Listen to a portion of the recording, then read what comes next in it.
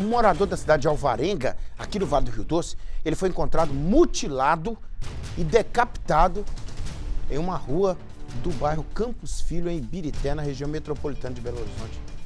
Gente do céu. Gente do céu. Isso não é filme não, gente. Isso é a vida real. Misericórdia. Vamos saber dessa tamanha violência aqui com o repórter Ivan Duarte. Ivan, meu filho, Cruz Credo. A pessoa é de Alvarenga. Esse trem aconteceu lá na região metropolitana de Belo Horizonte, lá, lá em Birité, na saída lá para São Paulo. Cruz Credo, que violência é essa, Ivan? Boa tarde, meu amigo. Oi, Nico. Excelente dia para você, excelente dia a todos que estão conosco aqui no Balanço Geral.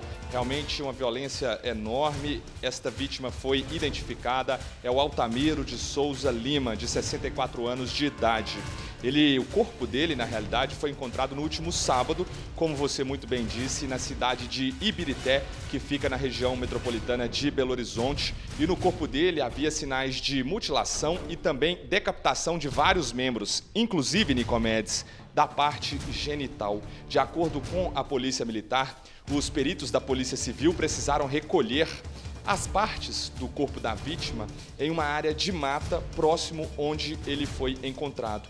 Num primeiro momento, não foi possível identificar o idoso porque ele estava sem a identidade e também não havia nenhuma queixa de desaparecimento por parte de familiares. No entanto, ontem pela manhã, a Polícia Civil revelou que aquele homem era de fato Altamiro de Souza Lima, de 64 anos de idade, mas não informou qual a ferramenta, o instrumento utilizado para cometer tamanha violência. Agora, os agentes da Polícia Civil querem descobrir o que de fato aconteceu neste caso e vão iniciar, né, promover uma investigação. Nós, claro, acompanharemos o caso, Nico.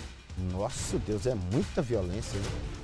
É muita violência. Desculpa.